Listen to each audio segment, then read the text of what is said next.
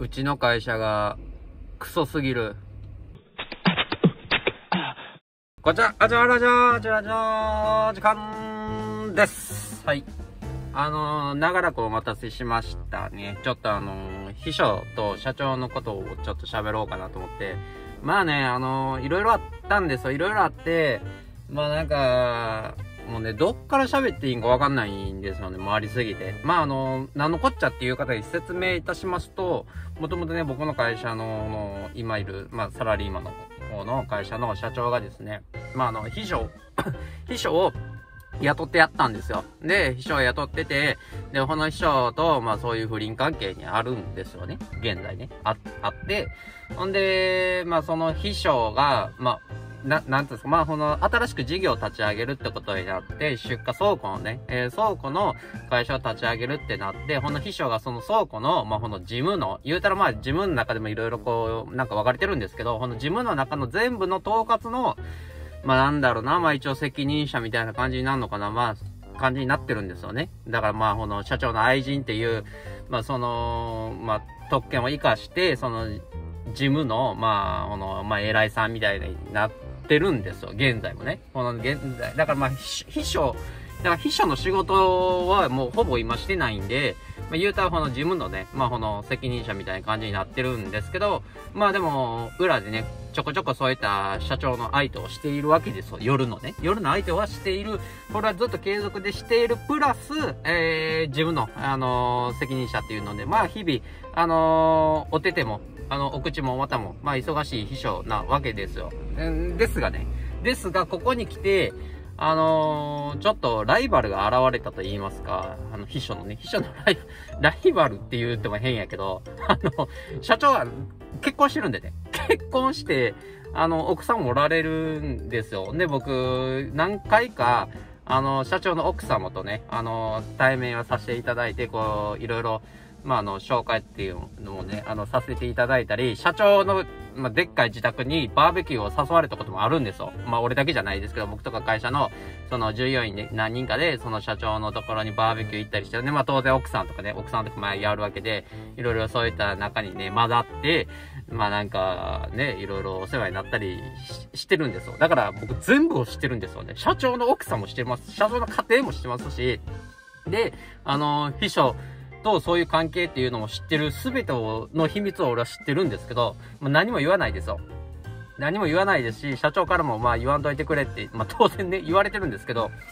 ですが、あのーご、あの、奥さんにはね、奥さんとかにはもちろん言ってないですし、会社は誰にも言ってないんですけど、僕がこの YouTube という全世界に発信してる、このプラットフォームでね、ぶちまけてるっていう、あの、これバレたら、あの、俺多分バレたらクビなんで、バレたら多分動画消しますね。動画っていうか、このチャンネル自体を消すかもしれないですけど、あの、バレそうになったらね、バレそうになったら、あの、まあ、せめてこの秘書系の動画全部消すと思うんですけど、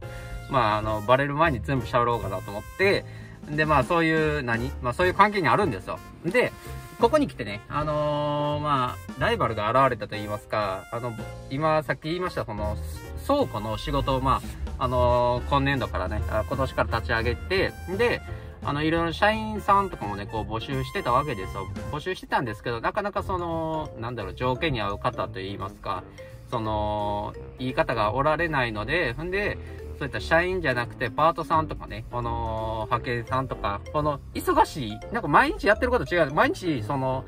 まあ、この出荷の、な、なんていうのかな、その、違うんですよ。その、月曜はこれをして、火曜はこれをして、みたいなね。だからまあ、セブン入れ、セ月曜は、コミ、コミで言ったら、月曜はセブ入れの出荷。えー、火曜はローソンの出荷みたいなね。で、水曜はファインマの出荷みたいな。こう言ってみたら、こう、毎日毎日、その、曜日ごとに変わるわけですよ。ほんで、その、曜日ごとに物量が多い時があるんですよ。だから月曜のセブン入れはめちゃくちゃ多いみたいな。もう1000個ぐらいピッキングしなあかんけど、あの、火曜とか水曜とかローソンとかファインマとかは300個の出荷でいいみたいな感じで、だから日によって、その忙しさが違ったりするんで、その日によって違うんやったら、その忙しい時だけ、そういったパーパートさんとかね、あの、そういう方を、あの、募集して入れたらいいんじゃないかっていう風になってきたんですよね。だから社員をずっと、あの、常駐っていうか、ずっと正社員で雇うっていうよりも、まあ、パートさんとかにそういう時だけ応援に来てもらおうみたいな感じで、あの、募集をかけたんですよ。んで、あの、いろいろ、やっぱそういった、あの、毎日じゃなくてね、まあ月か、あと金とかね、そういった週3日で、まあ時給が1000円、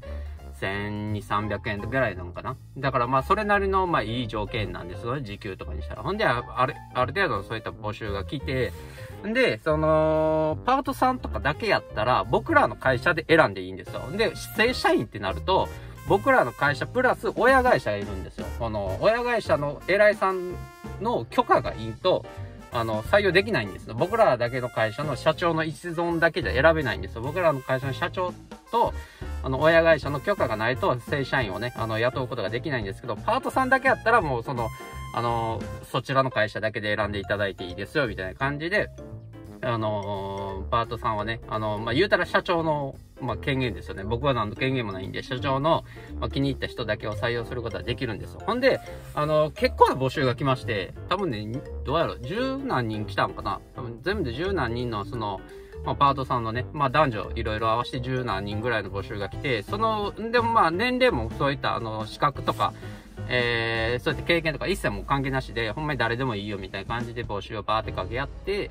ほんで、いろんな方が来られたんですけど、まあ、そんな中に、あの、すごい、すごいギャルが来たんですよ。もう、すんごいギャルが来て、なんかね、なんつったらいいんやろ。あの、皆さんが想像してるギャルじゃないです。多分、皆さんが想像してる、今時の綺麗なギャルいるじゃないですか。こう、みちょぱとかね。ああいう、な、い、なんかいるじゃないですか、ああいうな。俺もよくわかんないんですけど、だからみちょぱとか、なんかまあ、そういう系いるじゃないですか。なんかそういう、ゆきりぬとか、ゆきりぬでしたっけ？なんかまあいるじゃないですか。なんかそういう、そういう系のギャルじゃないんですよ。それを、さらに凌駕した、もっと、こう、昔で言うマンバでしたっけ？ヤマンバみたいな、その、ギャルメイク流行ったじゃないですか。なんかすげえ目の周りが真っ白で、あのー、なんか、ヤヤマンバメイクっていうのがね、あのー、僕もちっちゃい時ですけど、そういうのが昔流行った、あの、時の、の時の時代から来たん、お前みたいなね。お前、お前、お前、時々のみで飛んできたんかっちゅうぐらい、なんかね、お前、え、お前今時いる？そんなやつみたいな、いうおギャルが来たんですよ。むっちゃ汚いんですよ。なんかね、一応スーツが着てやったんですけど、マジ似合わないんですよ。なんかスーツにそのギャそのメイクおかしいやるみたいな。で、あのー、後々気づくんですけど、そのメイクでさえむっちゃ薄いんですよ。あの、むっちゃ薄く、面接用の薄いメイクで、その日は、きょったんですよね。あの、後々、あの、そいつの真の姿が見えてくるんですけど、その時は、まあ、スーツで、で、まあ、その時ですでに目、目の周りも白いんですよ。なんか、なんつうか、この、な、目、なんかね、なんか目頭とか言うのかな？なんかいろんなところが、まあいろん、まあ、まあ白いんですよ。なん、なんせ白いんですよ。なんせお前カビ生えてんぞ、中ぐらい白くて。んでまあなんか、ね、あの、これはないやろって思ったんですよ。第一印象がね。第一印象、僕と、面接が僕と、あ社長やったんですよ。僕と社長も二人で面接して、で、うわ、これはないわと。それは、お前面接やと。いくらパートさんといえど、正社員とかじゃなく、ないにしても、面接じゃないですか。面接に、まあ、スーツは着てるから、まあまあ、そこはね、まあそこはちょっと評価いいかもしれないですけど、でもそのメイクはないてみたいな。お前、常識があんのかないんか、お前どっちやねん、重要わからんおギャルが来て、で、あのー、まあ僕がね、あのー、自己紹介お願いしますって言った時に、なんかこの、敬語も、敬語じゃないんですよ。わかります？敬語じゃない敬語ってなんつうんかな？なんかこう、とも、ちょっと先輩に話してるぐらいの、なんか喋り方なんですよ。あの、とか言うようんですか？あの、私は、みたいなね。なんかね、敬語じゃないん、敬語じゃない、ほんまに先輩にちょっとこう、仲のいい先輩に喋ってるぐらいの、なんかそういった口調で、なんかこう、喋ってきおるんですよ。まずそれで、あ、もうないわと。もうその自己紹介を聞いた上で、で、あの、今は何何もしてへんって言っとって、で、まあ何もできひんやろうなと思ったんですよ。まあ、申し訳ないけどね。こんな、こんな面接にそんなメイクで来るようじゃ、そういった普通の、なんていうんですか、まあ夜とかやったらあれかもしれないですけど、普通のこういった昼食とかでね、もうそういうきっちりとした企業さんとかに行くにしても、そのメイクはさすがにないやろうと思って、まあまあ、今は何もしてへんって言ったから、まあ、まあそうなんかなと思って。ほんで経験とかは、そういったあの、夜のスナックとかでは働いたことあるって言ってたけど、そういった、なんつうんやろな、こういう仕事はしたことないみたいに言ってて、あ、そうなんですね、みたいな感じになって、もういいかなと思ったんですよ、正直。正直自己紹介と、あと、まあその、何、今まで何してたんですかみたいな。ほんで、まあそういった、あの夜のね、仕事してましたみたいな聞いて、正直僕はもういいかなと思って、もうこれはないやろと思って、さすがにね。これはもうないからもう、あ、わかりましたみたいな感じで、もう帰ってもらっていいんじゃないかなと思ったら、なんか社長がやたら食いついて、その子に。その子にやたら食いついて、なんかね、もうずっと、なんかこの、なんか、ずっと喋っとるんですよ。なんか、いろんなことを質問しとって、なんかまあ、あの、履歴書見ながらね、で、あの、どの店やった？みたいなとかね、なんかいろいろそういうの、いろんなことをこう聞いてて、んで、なんかずっと喋っとって、なんかね、5分10分ぐらいずっとなんか2人で喋っとって、なんか面接とあんまり関係ないこととかも普通に喋っとって、雑談っていうかね、なんかそういうのしとって、で、まあなんか、これもしかして社長取る気なん？と思ってね。面接中から、ちょっと不安になって、ほんで、あの、まあ、面接っていう面接じゃなかっ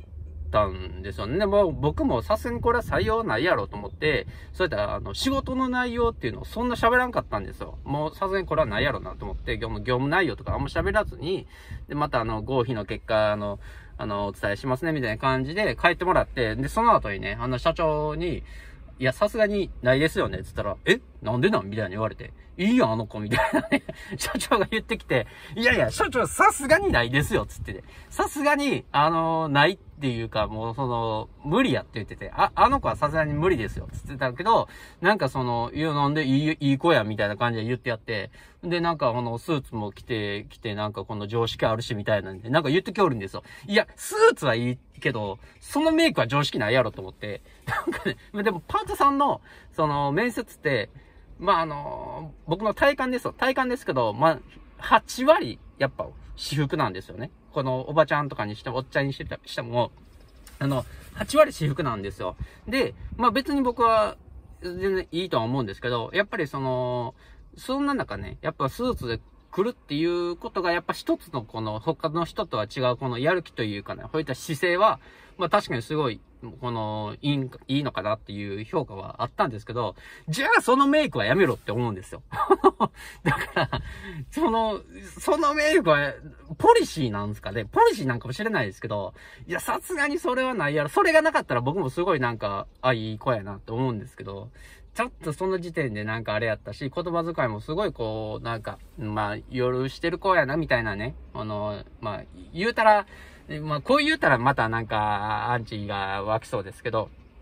なんかすごい、なんかね、まあでも夜してる子もやっぱすごいきっちりしてる子はすごいきっちりしてるじゃないですか。そうじゃなくて、そういう感じじゃなくて、なんかもう、すごいラフで、なんかフランクで喋ってきて、いや、ちょっとなっていう感じだったんですけど、社長はもう、あの子は採用にするって言われたんで、もう僕は何も言えないじゃないですか。の、社長に言われたらね。だから、あ、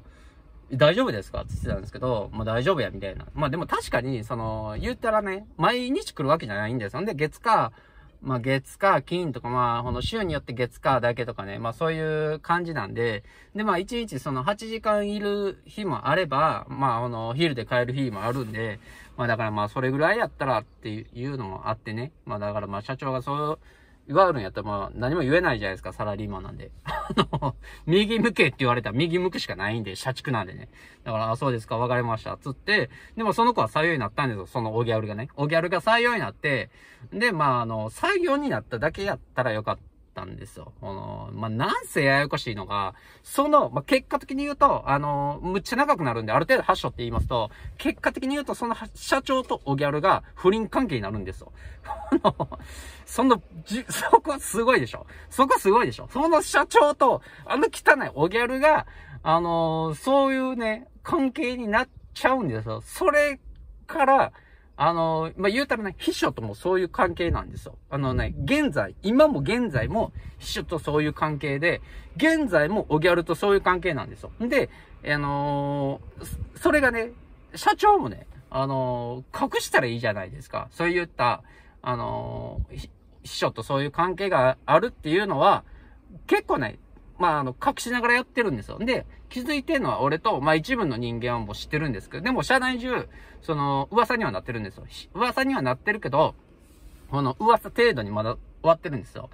で、社長で秘書がそういう不倫関係にあるんじゃないかみたいなね、結構ね、そのパートのおばちゃん同士の、そういった話題にはよく出てくる噂程度にはなってるんですけど、でもその、おギャルとそういう関係になったんですけど、それをね、この、見せびらかすかのように、秘書に。秘書とか、もう社内の人間に見せびらかすかのように、朝ね、一緒に出勤してきおるんですよ。一緒の車で。一緒の車で、あのー、だから、まあ、言うたら、あの、ホテル帰りでしょうね。夜多分ホテルに泊まって、あの、まあ、そういう行為を行って、朝ね、多分一緒にそのまま来とると思うんですよ。ほんで、で、あの、普通にあの、事務所入ってきおるんですよ。あの、で、その入ってきおるんはいいんですけど、それの日はね、あの、おギャルの出勤日じゃないんですよ。月火金は、そのおギャルの出勤日なんですけど、普通に水木とかも今日るんですよ。言うたらね、毎日今日るんですよ。毎日なんか社長が事務所に、事務所っていうかその、まあ、そっちの倉庫のね、あの、出荷倉庫の方に、あの、まあ、絶対朝、なんか、いろいろ書類を取りに来たりとか、なんかいろんな、そういう納品とか、まあ、いろんな書類があったりするんで、そういうのは取りに来たりしてあるんで、その時に、あのー、一緒におギャルも今日るんですよ。なんか知らんけど、社長のカバン持ってね。だから言うたらちょっとした秘書の仕事をしとるんですよ。この、あのー、なんつうんですかね、このパートの仕事だけじゃなくて、まちょっとしたさ、カバン持ちぐらいでしょうけどね。そのパソコン一切触れへんって言っとるんで、多分パソコン業務とかは多分一切できないんですよ。んで、もうだからできることって言ったらもうね、あの、あっちの相手をしてるんかなって思うんですけど、思うんですけどね。まあそれぐらいしかほんまにね、僕は思わないんですけど、仕事って言ったらあれやけど、でもまあそのカバンを持って入ってきおるんですよ。ほんで、さすがにね、あの、一番最初見た時に、車内中ね、えってなったんですよ。ちょっとざわってなったんですよ。えどういうことみたいな。え今日おやる出勤日じゃないやんって、俺も思ったし、みんなね、ちょっとざわってなって、だって社長のカバンを持って一緒に入ってきおるんでしょ。んで、社長の後ろで突っ立っとるんです、あのギャルがね。で、ざわってなって、え、どういうことどういうことみたいな、この、んで、社長一緒に帰ってきよるんで、一緒の車乗って何も言わんと帰ってかわるんですよ。で、みんな、え、どういうことなのみたいな。え、あの二人、どういうことみたいな。付き合ってんのみたいな。そういう話がバーって車内で出て、で、俺も、こう、え、どういうことなんやろ？みたいになって、んで、師匠も、はみたいな顔してるんですよ。この社長に向かってね。社長に向かってはみたいな顔してて、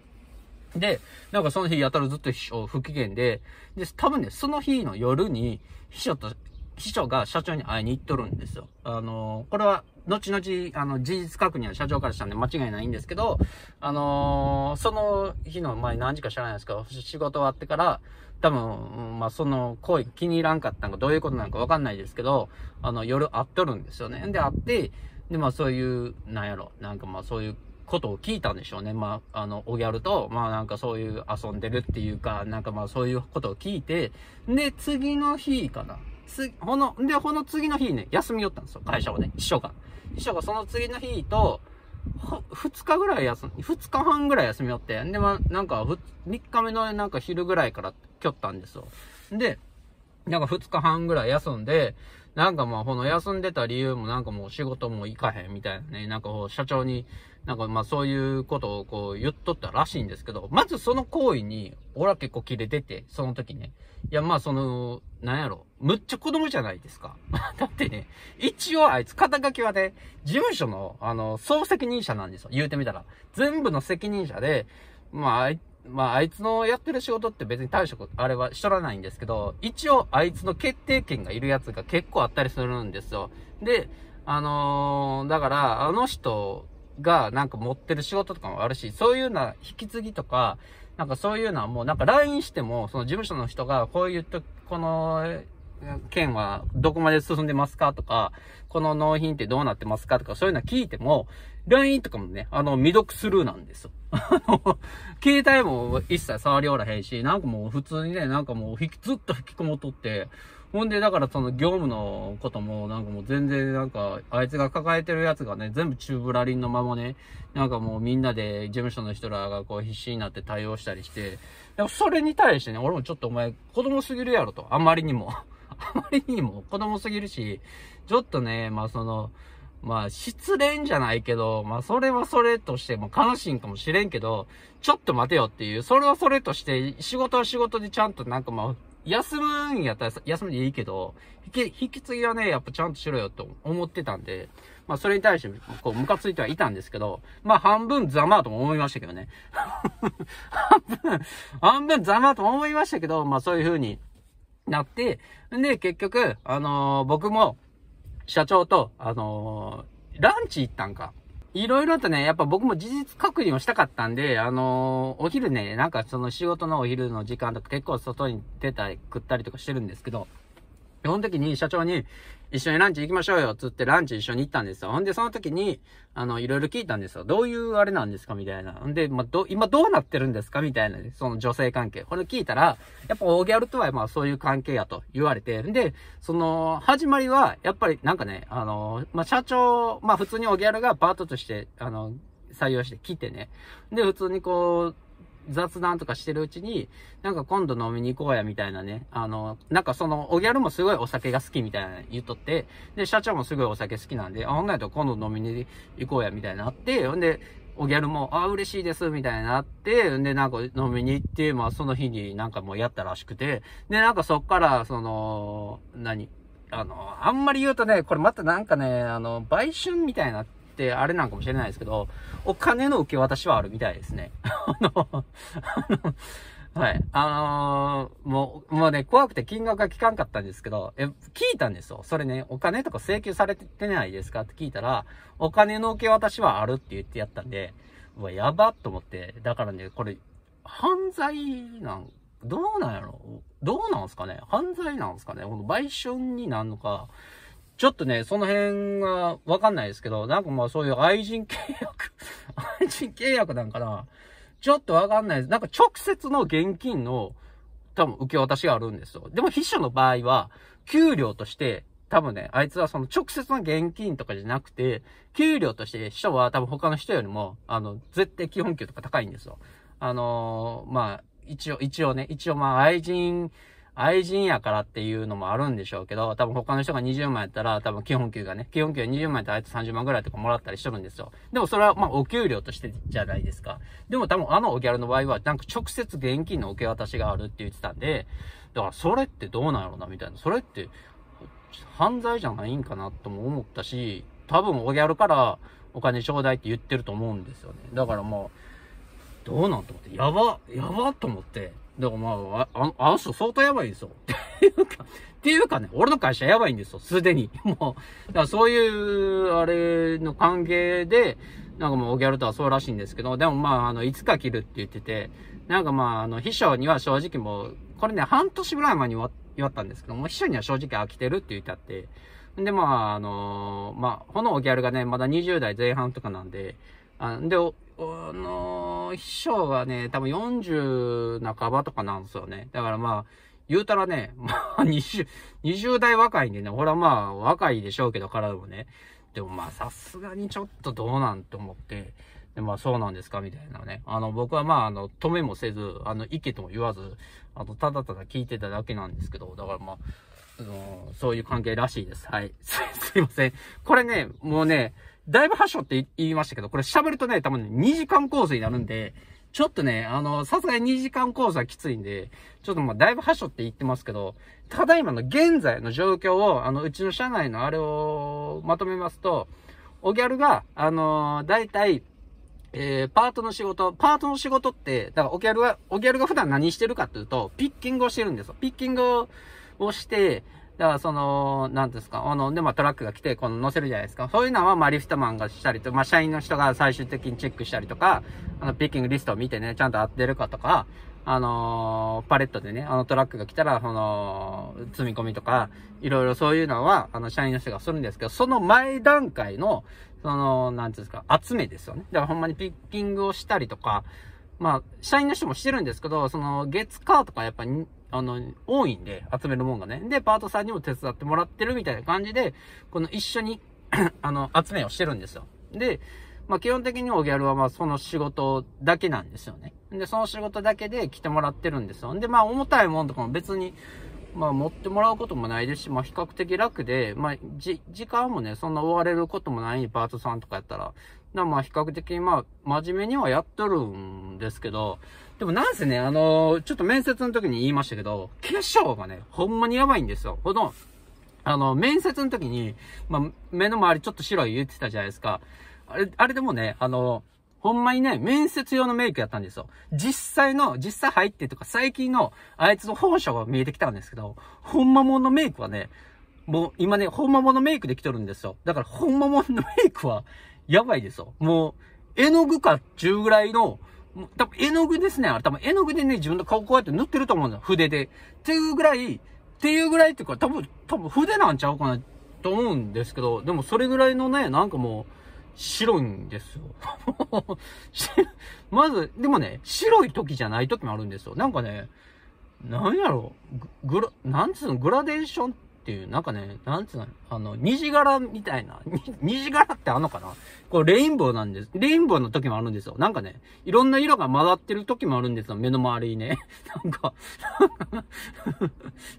どういうことってなるじゃないですか。僕もわかんないです。僕も今自分で言ってて何言ってるかわかんないですけど、ほんまに、目の周りにね、この、なんつうのかな、もう、いろんな色が混ざってる。絵の具で赤とか青とか、白とか黒とかいろいろ混ぜて、ガーって混ぜたら、すごいいろんな色、バーって混ざるじゃないですか。その混ざった色を目の周りに塗っとるんですよ。だからね、あれちょっと病気なんですよ。なんか今こんなんが流行ってるんですみたいに言うとるんですけどね。俺街中で見たことないから、そんな子をね。で、流行ってたんて、もう多分、2、30年前やし、お前、お前飛んできたんかと。お前そんな前から飛んできたんか今流行ってるんですとか言うけどな。流行ってないから。あの、中で。んで、あの、この、まつげある、つけまやってるんですけど、このつけまの、なんかね、つけまのまつげの上に、なんかね、ビーズみたいな、なんか、ビーズぐらいの、なんかいろんな大きい、なんか玉みたいな、玉みたいなのをね、いっぱいなんかこう、バーってつけたりしとってね、お前目重いやん。で、開いてないんすよ、半分ぐらい。ほんのビーズが重、ビーズかわかんない。ビーズじゃないんでしょうけど、ビーズみたいな、あの、で、なんか、そこそこ大きいやつをまつげの上に乗せてるから、多分それが重くてね、目がね、常に半開きなんですよ。だからね、だからね、んで目の周りなんかレインボーなんですよ。ちょ、ほんまですからね。だからね、あの、やばいんですって、ほんまに。でもね、性格はね、まあ普通なんですよ。別に尖ってるわけでもないし、なんか、普通な、めっちゃ普通な、めっちゃ普通な子が無理して、あの、ヤマンバメイクをしてギャルになりたがってるっていう子みたいなね。なんか、ヤンキーじゃない、むっちゃ真面目なやつが、こう、ヤンキーぶってるみたいな感じで、なんかそんな感じなんですよ。全然なんか、そんなギャルの素質ないのにギャルになろうとしてるみたいな。んで、多分ネットでいろんなギャルのメイクをして、一番ギャルっぽいのがヤマンバ、ヤマンバみたいなね、メイクやったんか知らないですけど、今なんかそんな感じなんでさ。ただね、スタイルはね、まあ悪くないですね、正直。まあ、別に良くもないんですけど、なんかめっちゃ身長高いわけでもない。ちょっと高いんかなちょっと高いぐらい、160ぐらいなんかなで、別にまああのまあ、どっちかずっと細いかな、みたいな。で、まあ、お胸はどうかな。お胸は B カップぐらいかな。別にそんなむっちゃ悪くないスタイルなんで、だからまあ、まあまあ、まあいいかな。いいかなって言ったらあれなんですけど、だからね、普通にしてたら多分ね、普通にモテる子なんかな。でも素顔がわかんないんですよ。素顔がね、ちゃんと見たことないんで、わかんないんですよ。でも、もともとね、すごい普通の子やったと思うんですよね。だから、まあ、性格も別に普通なんで、ほんと尖ってないから、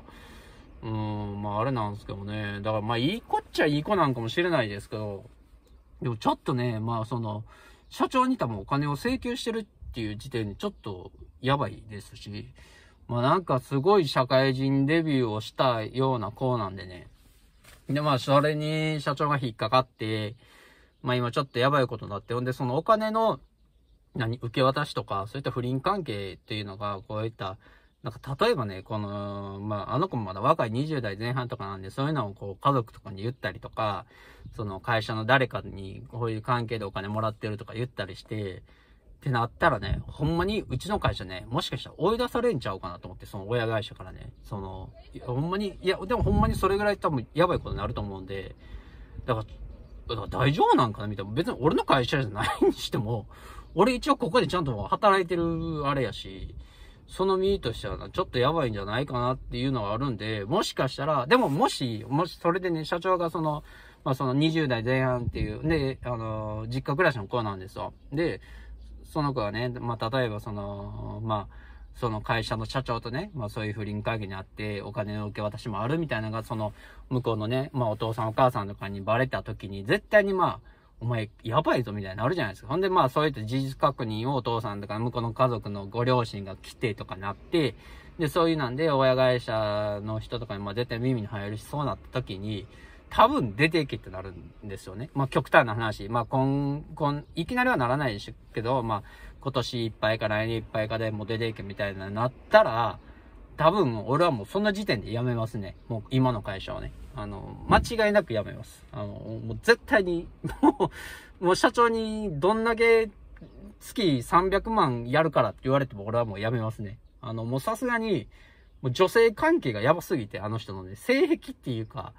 まあ、それがやばすぎてもついてけへんし、もう、絶対そこはもうやめようと思うんで、それだけはもう俺心に誓ってるんで、もう次何を言われようがもう絶対やめるっていうのは。だからまあ、そうな、まあそうなったらそうなったでまたそれも動画にしようかなと思うんで、まあそれも人生かなと思うんでね、またその時はその時で、あの動画にしますので、ぜひお楽しみを。はい。ちょっとめっちゃ長くなっちゃいましたね。すいません。まあ今、こういう関係、こういう関係っていうかこういう状況で、で、まだね、あの、いろいろちょっと喋りたいこともあるんですけど、まあちょっと長くなりすぎるんで、まあこの辺で切りたいなと思います。すいません、なかなかと。ここまで見たよっていう方がいたら、ぜひ、あの、コメントとか、グッドボタンとか、チャンネル登録よろしくお願いします。それではまた次の動画でお会いしましょう。さよなら。